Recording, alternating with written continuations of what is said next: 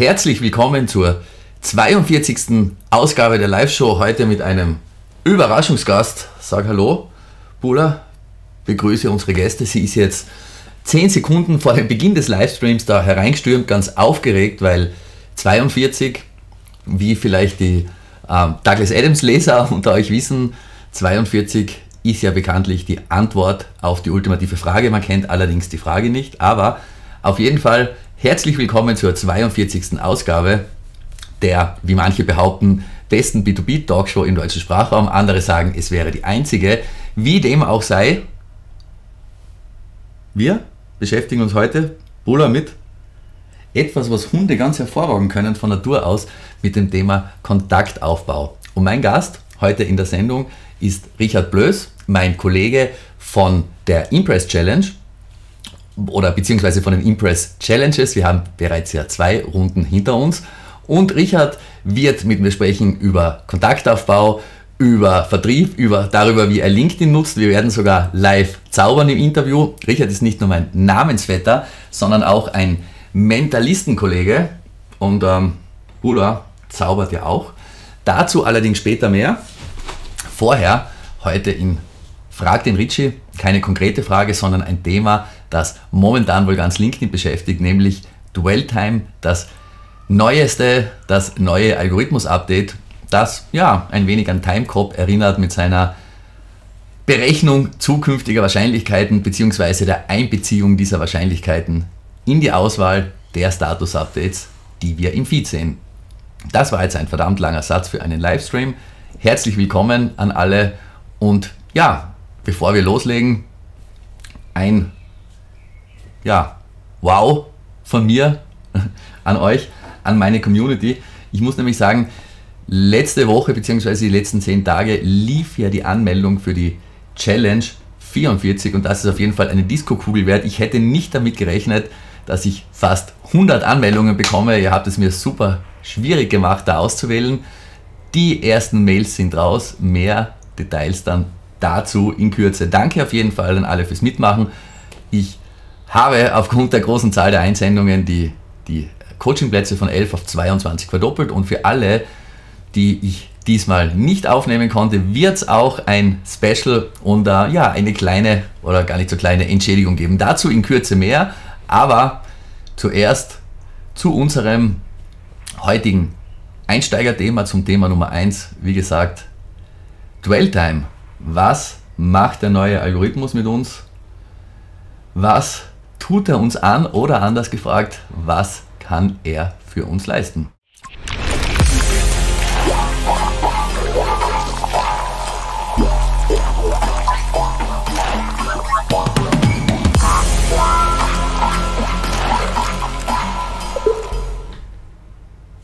Irgendwas ist immer im Weg bei dem Intro.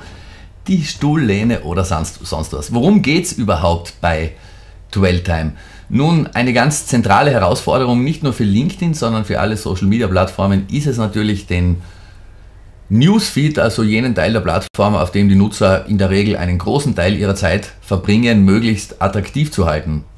Wenn das nicht gelingt, dann geht es einem so wie Facebook oder Xing und es gibt dann relativ wenig Grund, regelmäßig reinzuschauen. Wann ist der Newsfeed relevant? Wenn er für mich personalisiert relevante Inhalte anzeigt. Und da wir es auf LinkedIn ja nicht mit einer ähm, Zerstreuungs- und Entspannungsplattform zu tun haben, sondern weil die Nutzer hier unterwegs sind mit einem ganz klaren Business-Mindset, mit ja, eben mit dem Wunsch, ihr Business voranzutreiben, ihre Marken zu etablieren, mag da auch niemand schöne Bildchen sehen, sondern man möchte eben in erster Linie nützliche Informationen, Informationen, die einen selber weiterbringen. Das ist jetzt nichts grundlegend Neues, das war bisher auch schon immer so. Das haben wir auch alle in unseren ähm, Content- und LinkedIn-Workshops immer gepredigt, dass es eben darum geht, mit den eigenen Inhalten möglichst nahe an der Zielgruppe zu sein. Und für LinkedIn aus Betreibersicht kommt es eben darauf an, aus dieser recht großen Flut von Status-Updates, die ist natürlich umso größer, je mehr Kontakte du hast, je mehr Seiten du abonnierst, auszuwählen, was eben für dich die spannendsten sind. Da gibt es bisher schon eine sehr, sehr komplexe Systematik, die über 180 Faktoren einbezieht. da, sind, da spielen die, die Hashtags eine Rolle, da spielt eine persönliche Interaktionshistory eine Rolle und da ist jetzt eben noch ja, ein neuer Faktor dazugekommen. Und ähm, dieser neue Faktor, der ist gar nicht so einfach zu verstehen. Da muss man ja schon ein bisschen tiefer graben, aber LinkedIn hat diese Informationen selber alle veröffentlicht. Und zwar, worum geht es dabei ganz konkret? Ähm, wenn LinkedIn die Auswahl für deinen persönlichen Newsfeed zusammenstellt oder wenn der Algorithmus das tut, dann ist das bis zu einem gewissen Grad natürlich immer ein Best Guess. Was könnte dich interessieren? Und eine sehr, sehr spannende Frage in dem Zusammenhang ist dann natürlich, wie richtig war denn äh, diese Einschätzung? Und woran merkt man, ob die richtig war? Man kann das ja nicht direkt messen, man hat ja nicht den, die einzelnen Nutzer sozusagen in einer Laborsituation, wo man jetzt ihr Eye-Tracking oder so weiter misst, aber was man eben sehr wohl remote und auch in großer Zahl, also als Big Data-Analyse messen kann, ist die Verweildauer eines Nutzers bei einem Status-Update. Also diese eben Dwell-Time, Dwell to Dwell, sich irgendwo auf, aufhalten, Dwell-Time, die Aufenthaltsdauer. Und wenn ihr euch jetzt mal vorstellt, wie diese Zählung so funktioniert, wenn wir beispielsweise an die Views denken. Ein View im Social Media Kontext, diese Statistik, die dann bei den Postings angezeigt wird, die bedeutet genau genommen nicht, dass jemand dieses Posting tatsächlich wahrgenommen hat, sondern dass es sich eben zu mindestens 50 Prozent im sichtbaren Bereich des Bildschirms befunden hat. Also mit anderen Worten, wenn der da einfach schnell drüber scrollt über seinen Newsfeed, dann kann es sein, dass euer Posting damit durchrutscht und da kann man jetzt drüber streiten, ob das unbewusst wahrgenommen wird oder nicht, ob jede Art von Aufmerksamkeit gut ist oder nicht. Aber wenn der da nicht zumindest kurz verweilt und vielleicht auf Read More klickt oder was auch immer tut, dann ist das schon ein recht guter Indikator. Nicht vielleicht, dass ihn der Inhalt grundsätzlich nicht interessiert, aber dass es zumindest nicht gelungen ist, mit diesem einen Status-Update ihre oder seine Aufmerksamkeit zu erregen. Und äh, was die LinkedIn-Datenfüchse jetzt gemacht haben, sie haben eben analysiert, inwieweit man diese, diesen Unterschied zwischen jemand bleibt bei einem Posting unter Anführungszeichen hängen oder jemand scrollt sehr schnell drüber, nutzen kann für die zukünftige Auswahl. Oder wieder anders umgedreht, kann man es so hinbekommen, dass man möglichst viele der Postings, über die der Nutzer sowieso nur drüber scrollen würde, gar nicht erst anzeigt. Und darum geht es im Kern bei diesem Dwell-Time-Update.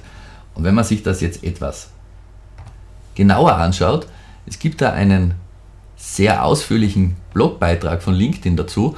In diese Grafik hier erklärt eben den Unterschied, wenn jemand nur, nur durchscrollt versus wenn er, wenn er eine Aktion vornimmt auf diesem Posting. Und äh, das lässt sich dann auch in bestimmten Abstufungen darstellen und dann letztendlich auch für unterschiedliche Posting-Typen, wobei die Threshold-Time da interessanterweise immer gleich war, nutzen und daraus eben diesen Faktor, der ersetzt nicht den bisherigen Algorithmus, sondern das ist eben ein weiterer Einflussfaktor, der für die Mathematiker unter euch basierend auf den Bayes'schen Theoremen diese Wahrscheinlichkeiten berechnet. Und wenn diese Wahrscheinlichkeit, dass dich ein bestimmtes Status-Update nicht interessiert oder dass du drüber scrollst, über einen bestimmten Schwellwert fällt, dann bekommst du es gar nicht erst angezeigt. So viel also zum Dwell-Time-Update. Was hat das für Auswirkungen in der Praxis? Ich habe am Dienstag einen recht ausführlichen Blogartikel darüber veröffentlicht. Ich werde euch die beiden Artikel auch dann anschließend gleich bei den Links in den Show Notes veröffentlichen. Und die konkreten Auswirkungen, ohne dass man jetzt deswegen ein Statistikstudium absolvieren muss, ist immer eine gute Idee, wenn man Zeit hat. Spannend, sehr spannendes Thema, die Statistik. In der Praxis wie ich bereits einleitend gesagt habe, ändert das nichts Grundlegendes und die sogenannten Scrollstopper, also diese verschiedenen Möglichkeiten und Methoden, um eben die Aufmerksamkeit von jemandem einzufangen, um ihn auf ein Posting aufmerksam zu machen, die sind mindestens gleich wichtig, wenn nicht noch wichtiger als vorher. Und ein zweiter Faktor kommt dazu, eben die angesprochene Verweildauer beim Posting. Woher kommt überhaupt diese Algorithmusänderung? LinkedIn hat festgestellt, dass zwar auf der einen Seite die Plattform wächst, dass es auch immer einen immer größeren Anteil an aktiven Nutzern gibt. Und wenn ein Nutzer aktiv ist, wenn er Likes verteilt, wenn er Kommentare schreibt, dann kann man diese Signale natürlich ganz gut auswerten. Aber auf der anderen Seite gibt es eben auch sehr viele Nutzer, die nur mitlesen. die sich Status-Updates anschauen, die dann aber nicht liken und die keine Aktion setzen. Und wenn man jetzt nur diese Social Actions verwenden würde, um für das eben für das Auswahlmodell, dann wäre es sehr schwierig für diese Nutzer die Auswahl besser zu personalisieren. Wenn aber jemand, der nicht aktiv reagiert, trotzdem längere Zeit ein Posting liest, dann kann man das eben als Indikator hernehmen und kann für die oder den dann auch entsprechend die Auswahl besser personalisieren. Das ist also der Grundgedanke, der da dahinter steht. Und das heißt für uns Content-Strategen, wir müssen uns noch mehr Gedanken darüber machen, wie wir Nutzer dazu bringen, im ersten Schritt, dass ihnen unser Posting auffällt und im zweiten Schritt, dass sie sich idealerweise auch länger mit diesem Posting beschäftigen. Und da fallen einem natürlich sofort zwei Formate ein. LinkedIn ist ja relativ reich an Posting-Formaten, die natürlich aufgrund ihrer internen oder ihrer, ihrer Klickstruktur sich ganz, ganz besonders gut eignen, um Dramaturgien darzustellen und um bei den, wenn man eben die richtigen Geschichten erzählt und auch den richtigen Hook oder Einstieg wählt, die Nutzer oder einen sehr großen Teil dann eben dazu bringen, auch weiter zu klicken. Das ist wenig überraschend. Zum einen das Format Dokumente, bei dem man die Möglichkeit hat, Präsentationen, PowerPoints hochzuladen und dann diese eben auch blätterbar dargestellt werden. Und zum anderen das Format Fotogalerien, wenn man also anstatt eines Fotos mehrere Bilder hochlädt. Beides Formate, die man sehr gut nutzen kann, um im Fall einer Galerie mit den ersten drei Bildern, die werden dargestellt, die, die restlichen muss man dann weiterklicken, im Fall eines Dokuments eben mit dem Deckblatt oder mit der ersten Seite wirklich neugierig zu machen und dann auch zum Weiterklicken oder idealerweise bis zum ganz Durchklicken zu animieren. Das würde also die Verweildauer stark erhöhen. Überhaupt das Dokumentenformat eines der unterschätzteren Formate auf LinkedIn bisher, wird im Zuge dieses Updates sicherlich ein, äh, ja, Renaissance kann man gar nicht sagen, aber eine, eine, erste, eine erste Blütezeit erleben. Und natürlich, dieser Algorithmus ist nichts, was in Stein gemeißelt ist, sondern wird auch ständig weiterentwickelt und man kann diese, äh, dieses Hinzufügen der Threshold Times bzw. dieses Dwell Time Update als einen Versuch ansehen, den Feed eben noch personalisierter, noch relevanter zu gestalten.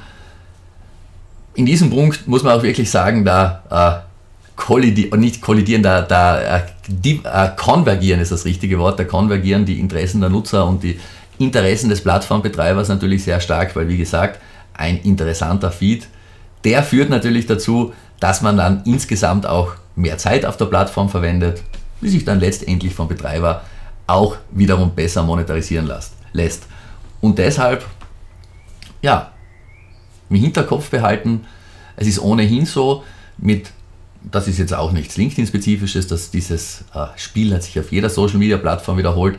Je mehr Nutzer publishen, je mehr Inhalte posten, desto mehr steigen die Einsätze, desto mehr muss man sich überlegen, desto schwieriger wird es auch aufzufallen. Und ich sage mal, mit, äh, mit diesem Dwell-Time-Update geht LinkedIn noch einen deutlichen Schritt mehr in Richtung nahe an der Zielgruppe sein, relevante Inhalte fördern. Ich sage mal, für so diese klassischen belanglosen Pressemeldungen, Unternehmen XY meldet, wir haben nichts zu vermelden, Rückfragehinweis. Wenn man das konsequent macht, dann wird LinkedIn ein ganz hervorragender Platz, um die eigenen Inhalte sehr, sehr gut zu verstecken bzw. unsichtbar zu machen. Relevanz nahe an der Zielgruppe und durchaus auch, wie gesagt, die Postinglänge und die Verweildauer im Hinterkopf behalten dann funktioniert es auch. Äh, dann funktioniert auch der Tanz im Rhythmus mit dem neuen Algorithmus. Dwell-Time, ein Thema, das uns also sicherlich noch längere Zeit beschäftigen wird. Hallo Milos, hallo Renate, hallo Aaron, freut mich, dass ihr dabei seid. Hallo Gottfried. Gottfried hat hier eine Frage. Ist es nicht so, dass User in der Regel anspringen auf den meist angeklickten Artikel. Ähm, das spielt sicherlich, grundsätzlich spielt das eine Rolle. Es sind zwei Phänomene. Die eine Sache ist natürlich, dass wenn viele Nutzer einen Beitrag anklicken, dann ist das ein Relevanzsignal. Auf der anderen Seite auch für unsere persönliche Wahrnehmung, ähm, da wird dieses Phänomen als Social Proof bezeichnet. Also mit anderen Worten, wenn du jetzt in deinem Feed einen Beitrag siehst, der extrem überdurchschnittlich viele Likes hat, dann ist das auch schon, da muss ich genauer hinschauen, das interessiert viele, könnte mich auch interessieren. Das spielt natürlich auf der einen Seite eine Rolle. Auf der anderen Seite beißt sich hier natürlich irgendwo auch die Katze in den Schwanz, weil damit ein Artikel oder ein Beitrag überhaupt viele Likes bekommt, muss er natürlich erst einmal im Feed angezeigt werden. Also das sicherlich auch ein Faktor, der dabei zu bedenken ist. Hallo Andrea und damit, bevor wir zum Interview mit meinem sehr geschätzten Namens Impress Challenge und äh, Magie-Kollegen Richard Blöß kommen, ein äh, kurzer Hack der Woche, der eigentlich, wenn man es ganz genau nimmt, nicht wirklich ein Hack ist, sondern ja, ein neues Posting-Format.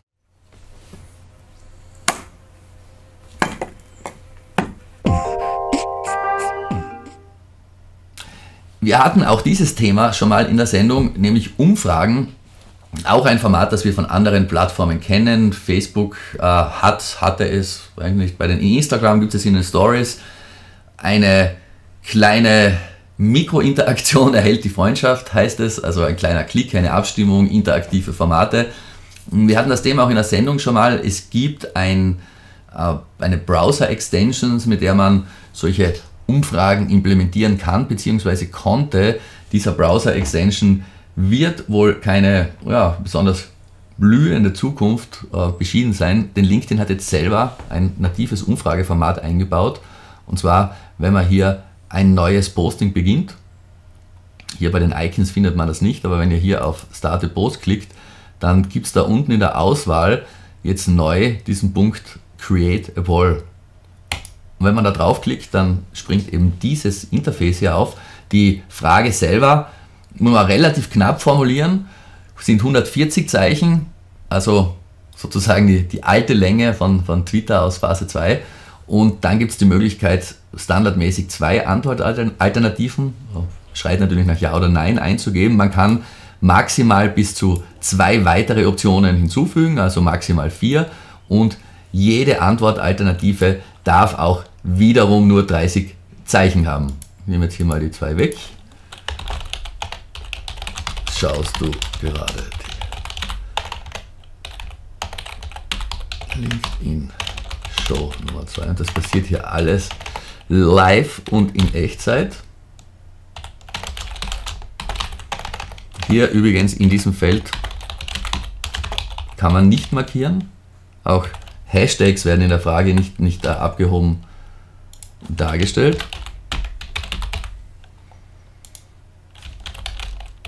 Ja, nein, danke für die Erinnerung.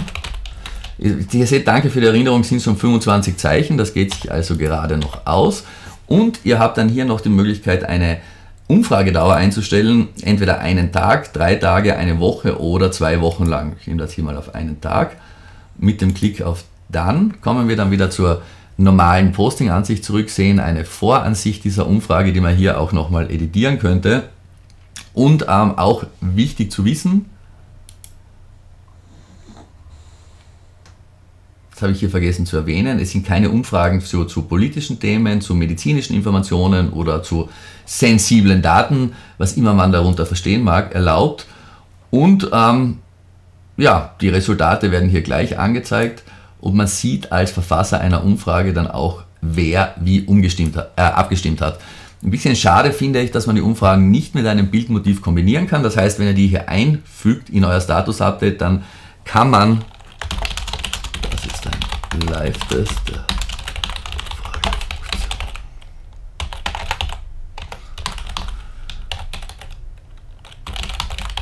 Link noch dazu rein. Kann man hier Text rein tun, man könnte hier, hier funktionieren auch Hashtags, man könnte auch ähm, ja, eben die, die üblichen Icons verwenden. Und wenn ich das jetzt poste, sieht das im, im, in meiner Timeline eben genauso aus. So, ich werfe ich werf hier gerade mal, wow, das ist ziemlich, ziemlich real-time. Ich werfe hier mal den äh, Link zu diesem Status-Update in den Feed und dann kann man eben abstimmen, auch als Verfasser der Umfrage, damit 100% Nein-Stimme. Man kann die einmal getätigte Stimme auch wieder rückgängig machen, also undo und dann auch neu abstimmen. Und wenn ich ähm, eben hier draufklicke, das habe ich vorher gemeint, dann sehe ich nicht nur mich selber, sondern sehe als Verfasser der Umfrage auch die anderen Abstimmer. Also wie gesagt, kein sehr elaboriertes Umfragetool. ja, kann man aber nutzen, um vielleicht kleine Stimmungsbilder einzuholen. Wäre ganz nett, wenn LinkedIn das noch etwas ausbaut, aber Umfragen sind eben da. Übrigens im Zuge dessen, der Vollständigkeit halber, auch hier ein weiterer neuer Posting-Typ, dieses Offer Help. Das ist aber kein neues Format, sondern wenn man hier draufklickt, dann kann man eben nur ein, aus einer vorgegebenen Liste auswählen, in welchen Bereichen man Hilfeleistungen anbietet und das resultiert dann in einem ganz normalen Status-Update, das eben nur dieses Anhängsel mit dem Icon und dem Hashtag Offering Help, einem, einem Special in Corona-Zeiten dann ja, vor ausgefüllt wird. Anders wie gesagt der neue Posting-Typ Umfragen. Damit kann man Interaktivität in den Feed bringen. Für die Verweildauer wahrscheinlich nicht so der Bringer, nämlich genau eben aus dem Grund, weil so eine Umfrage, wie bereits erwähnt, eben eine Mikrotransaktion ist, also mit einem kleinen Klickchen ganz, ganz schnell abgeschlossen. Und damit kommen wir. Hallo, hallo lieber Frank, herzlich willkommen. Bandwagon-Effekt, ja, ganz guter, sehr guter Punkt. Ähm, diese selbstverstärkenden oder selbst, selbst wenn man das so sagen kann, Effekte, die spielen in den Social Media Algorithmen natürlich eine große Rolle. Auch ein Thema, das mir durch den Kopf gegangen ist im Zusammenhang mit unserem ähm, genannten Dwell-Time Update. Wenn man da mal rausrutscht, wenn der Algorithmus mal festgestellt hat, okay, die Status-Updates von dem sind super, super uninteressant und der besucht dann einen Workshop bei mir, einen Content-Strategie-Workshop, schreibt anschließend super Updates. Wie ist es dann? Ähm, kommt man dann wieder in den Feed rein und da spielt die sogenannte Degrading Time oder Degradation Time eine, eine wichtige Rolle. Das heißt, das ist kein Score oder kein Mäntelchen, das man für immer umgehängt bekommt, da muss auch wieder mal nachjustiert werden, aber es ist dann tatsächlich so, dass man, äh, wenn ihr so wollt, die eigene Posting-Historie entweder wie einen Rucksack oder wie ein schweres Steingewicht mit sich herschleppt oder wie einen Kite, der zusätzlichen Antrieb verleiht. Deswegen eben auch immer wieder die Betonung darauf, dass LinkedIn kein Sprint ist, sondern ja, vielleicht nicht mal ein Marathon, sondern eher so etwas wie Yoga oder Kampfsport, das man eben wirklich sehr, sehr langfristig macht und das auch langfristige Resultate zeitigt. Und damit wie bereits angekündigt, zum Interview mit Richard Blöß. Bleibt dran, in Kürze wird es eine ähm, weitere Runde der, der Impress Challenge geben, also Feedback von uns Impress-Speakern zu eurer Wirkung, zu eurer Stimme, zu eurem Subtext und auch dazu, wie es euch gelingt, Kontakt aufzubauen. Im persönlichen Gespräch natürlich ein wichtiger Skill, aber ganz genauso auf Video. Das ist Richards Spezialgebiet und darüber haben wir uns im Gespräch unter anderem unterhalten. Und wie immer an dieser Stelle soll es auch erwähnt werden, ich freue mich natürlich ganz, ganz rasend über Kommentare und selbstverständlich auch über Likes. Und damit zum ersten Teil des Interviews mit Richard Blöß. Lieber Richard, ich freue mich sehr, heute meinen ersten Namensvetter zu Gast in der Show zu haben. Sehr gerne. Wir sind auch Kollegen bei den mittlerweile Impress Challenges. Die, die zweite ist ja bereits abgeschlossen. Du bist Experte für Kontaktaufbau. Wie ist dein, wie ist dein Werdegang? Was genau machst du eigentlich? Ja, das ist eine gute Frage, weil ich sehr viel mache und äh, ich habe mal eine Social Media Agentur gehabt, 2008 bis 2013. Ich war der Erste, der in Österreich Facebook-Schulungen gemacht hat. Wow. Da gab es LinkedIn noch gar nicht, aber da kommen wir ja wahrscheinlich später zu.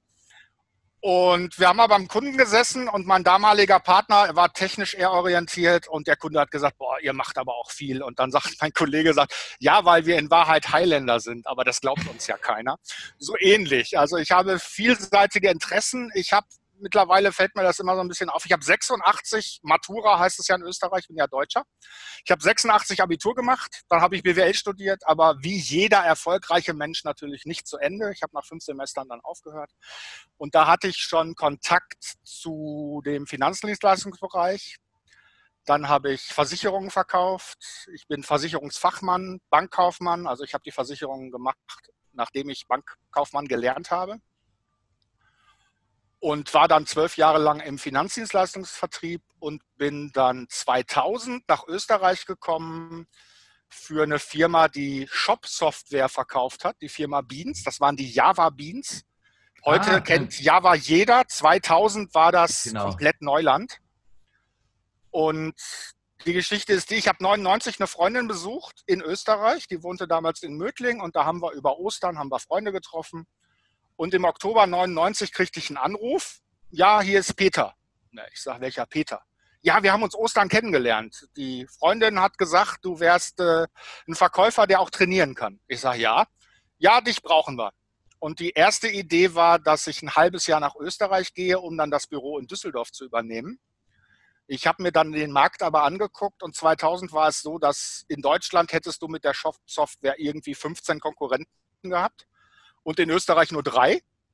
Und technisch war Java sowieso unschlagbar. Und dann habe ich mich am 1. April 2000 vorher, aber am 1. April 2000 habe ich mich dann entschieden, nach Österreich zu kommen und war dann bei der bei der Firma im Softwarebereich. Danach war ich äh, Vertriebsleiter bei UPC Telekabel. Also alles, was ich tue, hat mit Menschen zu tun im weitesten Sinne.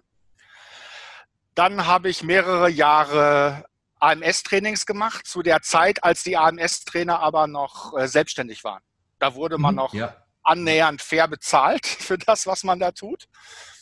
Und ich behaupte, jemand, der AMS-Teilnehmer trainiert hat, kann jede Gruppe trainieren, weil das sind, sind Menschen, ja, die wollen nicht im Kurs sitzen. Das ist die, Nein, die, die Steigerungsform, die Steigerungsform von Schulklassen, wo vielleicht manche so nicht ganz wollen. Das ist ja, ja, das schwierigste ja. Publikum. Also du hast, ja, wir hatten, also da, ganz am Anfang hatten wir immer Gruppen so sechs Wochen, immer zu zweit.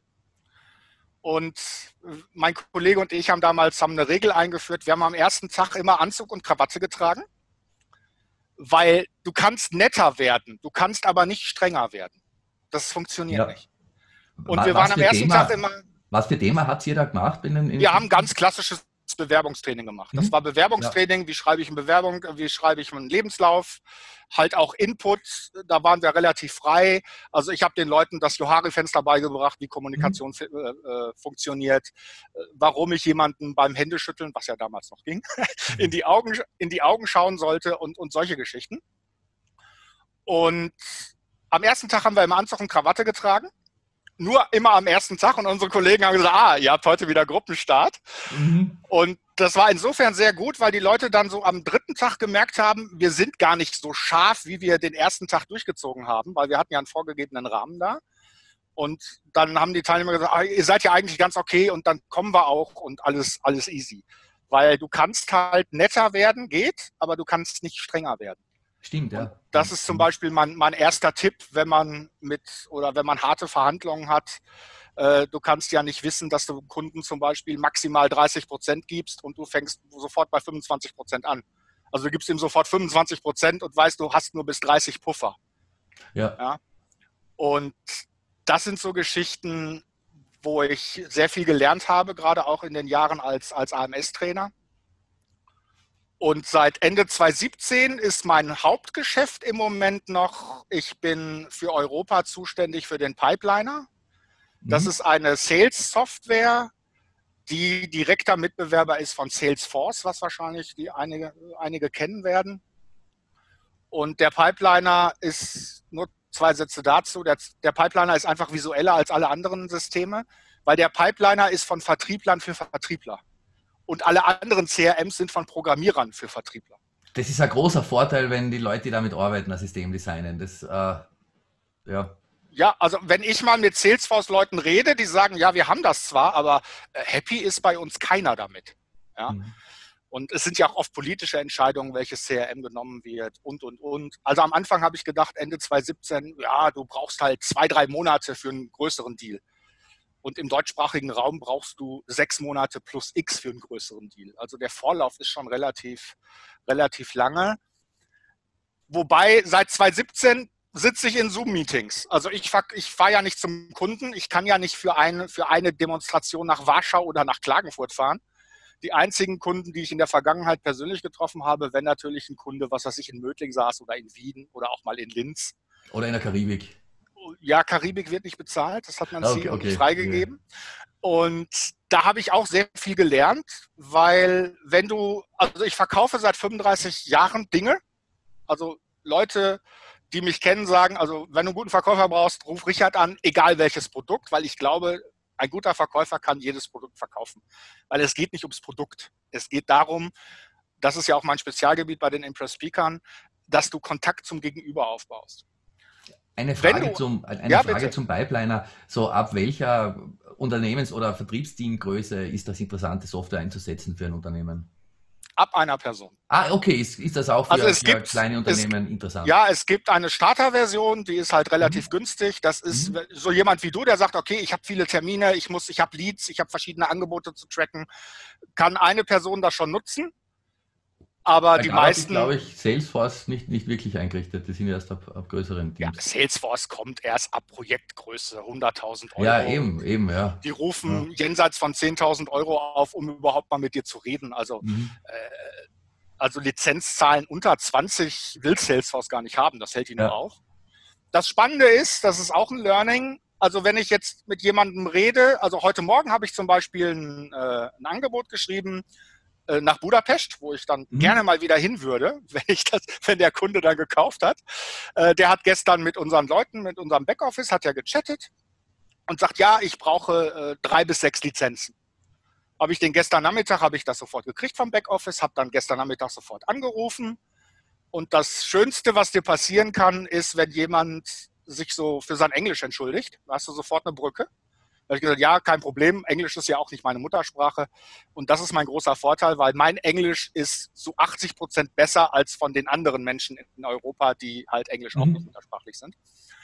Und was ich sagen will, ist, der Aufwand für sechs Lizenzen ist der gleiche wie für 60. Und mir ist ja. auch der Kunde gleich wichtig. Weil du hast drei, vier, fünf Gespräche. Der einzige Unterschied bei 60 Lizenzen ist, die Meetings haben einen größeren Abstand. Ja? Und was ich gelernt habe, du musst, wenn du über Zoom verkaufst, ist es ganz anders, weil das hat sich jetzt, also für mich hat sich der Job so gesehen null geändert, weil ich rufe die Leute an, vereinbare ein Zoom-Meeting und dann präsentiere ich meine Software, dann zeige ich auch nur meinen Screen und beantworte halt die Fragen und gehe mit dem Kunden durch, was, was das Softwarepaket für ihn tun kann. Aber in der Vergangenheit haben neun von zehn Leuten die Kamera gar nicht angemacht. Das heißt, die ah. Herausforderung für mich ist, ja. ich habe mit dem Kunden telefoniert. Manchmal habe ich aber auch mit, der, mit dem Assistenten telefoniert und habe dann den CEO im Meeting, habe noch nie mit dem gesprochen. Und die machen ihre Kamera nicht an. Und die haben auch kein Interesse, das zu tun, weil die wollen nur die Software sehen. Und das ist ein komplett anderes Verkaufen und du hast aus meiner Sicht hast du maximal eine Minute 30, um da um da auszutarieren, wie tickt dein Gegenüber. Ist der eher lustig drauf? Ist das ein Erbsenzähler? Wie ist der drauf? Wie tickt der? Und das ist, das ist aus meiner Sicht die Kunst, in den ersten zwei Minuten rauszukriegen mit Fragen, wie tickt das Gegenüber? Immer, egal Verkauf, privates Treffen, Vorstellungsgespräch, alles. Du hast zwei Minuten, um rauszukriegen, wie dein Gegenüber tickt. Und wenn du und das habe ich, um das noch abzuschließen, eine palettenreiche Ausbildung hast, dann hast du verschiedene Möglichkeiten, dein Gegenüber abzuholen. Also ich habe zwei Gesellenbriefe, ich habe zwei Berufe gelernt. Ich war zwölf Jahre in der Finanzdienstleistung beim Deutschen Ring, das ist ein Universalversicherer in Deutschland, und bei der Bausparkasse Schwäbisch die man wahrscheinlich auch kennt. Ja, ja. und da wirst du zu Tode geschult. Ja, also Vertriebstraining und, und Präsentationstraining. Die Schwaben, aber damals die Schwaben gelten da sehr fleißig innerhalb der, der deutschen äh, Ja, und äh, was, was, man, ja, und äh, der Hammer ist, also ich war in Nordrhein-Westfalen in einem Team mit 14 Leuten. Wir waren nur Männer, das war damals so, das war 96 bis 2000 war das für mich. Und das Spannende war, in Bayern ging Bausparen immer viel besser, das ist heute wahrscheinlich auch noch so, als im Rest von Deutschland. Immer, das war so. Also die Bayern, Bayern gehört ja zu Tirol. Das die durchschnittliche Bausparsumme war in Bayern immer höher als im Rest von Deutschland. Also Bayern war so gesehen außen vor, so wie Wien ist anders, Bayern war auch anders. Aber vom Rest von Deutschland war unser Team das erfolgreichste. Wow, wow. Und ich war in dem Team immer so im oberen Drittel. Mhm. Ich weiß aber, dass die Leute, die vor mir waren, mit Sicherheit zehn Stunden die Woche mehr gearbeitet haben. Also von daher bin ich ganz gut zurechtgekommen. Und das und, ist, auch, das ist dieser, dieser berühmte Kontaktaufbau, was du sagst. Da muss ich unbedingt nochmal einhaken, weil ich habe ja. ja im Rahmen meiner Profiling-Ausbildung auch unterschiedliche Systeme kennengelernt. Kennst du BCM, das uh, Process Communication Model oder DISC oder, oder solche Dinge, wo du. Wo das kenne ich, ja. Kenn, beim, beim BCM gibt es halt auch Persönlichkeitstypen und du, du kannst jemanden analysieren, langsamer oder schneller, aber ein, zwei Minuten, wie du sagst, ist halt recht rasch. Was ist denn zum Beispiel einem Videomeeting eine gute Einstiegsfrage? Wie, wie geht es dir oder wie geht es Ihnen eher nicht oder schon? Also meiner Erfahrung nach ganz, ganz generell, also wir hatten ja mal alle Zeiten, wo wir Vorstellungsgespräche hatten und wir sind dann irgendwo hingefahren. Haben Sie es gut gefunden? Guten Tag und whatever. Ja. Also ich versuche, diese ganzen Standardfloskeln zu vermeiden. Ja, und mit, ja, klingt vielleicht komisch, aber mittlerweile nach 35 Jahren, ich denke da nicht drüber nach. Und ich freue mich, wie machst du das? Du holst jeden richtig gut ab. Und mir erzählen ja auch äh, beim Hofer an der Kasse Menschen ihre Lebensgeschichte. Also mhm. irgendwie habe ich da auch vielleicht, es ist kein Gen, das kann man alles lernen. Also ich war zum Beispiel in meiner Vergangenheit nie Klassensprecher oder sowas. Also ich habe das auch alles irgendwann mal irgendwo gelernt. Und ich gehe im buddhistischen Sinne leer rein also ich bin, um mhm. das noch zu ergänzen, auch äh, Trainer für Improvisationstheater. Das ist daraus entstanden, dass ich vor über 25 Jahren angefangen habe zu zaubern. Und da haben mir meine Kollegen gesagt, ja, du machst das gut, weil reden konnte ich ja damals auch schon vor 25 Jahren, aber so bühnentechnisch müsstest du dich noch ein bisschen aufmunitionieren. Mach doch mal Improvisationstheater. Und da bin ich dann immer von Paderborn nach Münster gefahren. Das sind 150 Kilometer für ein, für ein Improvisationstheaterwochenende. Und nach dem Woche, ersten Wochenende war ich so angefixt, dass ich ganz oft da war und habe dann auch noch eine Ausbildung gemacht und biete auch in loser Folge, wie ich Zeit habe, auch im Raum Wien so einmal im Jahr einen Improvisationstheater-Workshop an.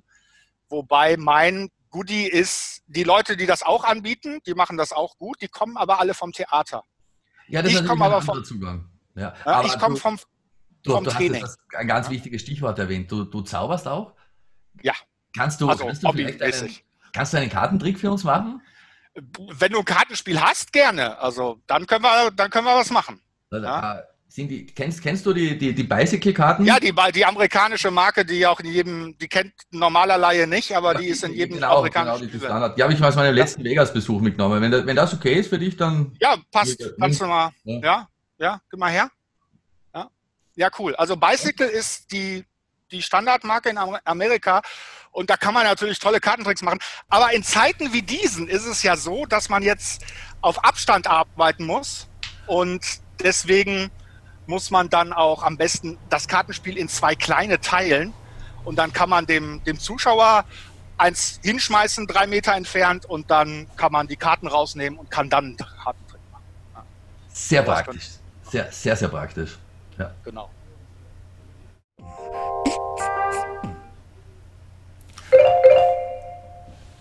Tja, ähm, ich habe mein, mein, mein Kartenbäckchen habe ich mittlerweile wieder zurückbekommen, nachdem man sich ja wieder treffen darf.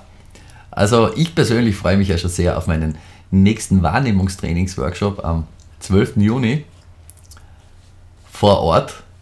Ja, mit mit Maske hat man beim Zaubern ja öfter. Es ist nicht gerade billig und wird auch immer schwieriger, die Jungfrauen zu besorgen fürs Zersägen. Aber abgesehen davon, ja, macht wirklich Spaß, sich auch mal mit den Untiefen der eigenen Wahrnehmung auseinanderzusetzen. Hallo liebe Christina, hallo Friederike, hi Timo, hallo Daniel, hallo Heinz. Ja, Magie, Kommunikation, Social Media, lauter angrenzende Tätigkeitsfelder. Und nachdem wir ja wirklich einige Gemeinsamkeiten haben, haben Richard und ich uns ja ausführlich unterhalten. Das gesamte Interview dauert fast eine Stunde. Das gibt es dann in voller Länge, auch mit einigen, denke ich, sehr, sehr interessanten Bühnendramaturgie-Tipps für, für Zauberer, Performer, Sprecher und so weiter. Das gibt es dann wie gewohnt im Podcast zum Nachhören. Wir haben uns aber nicht nur über Kontaktaufbau, über Pipeliner und über Kartentricks unterhalten, sondern selbstverständlich auch über unsere Lieblingsplattform LinkedIn und mehr dazu im zweiten Teil meines Gesprächs mit Richard Blöß. Viel Vergnügen. Richard, eine, eine Frage, die, die in dieser Show natürlich immer vorkommt. Du kommst ja aus dem Vertrieb, du bist auch Trainer.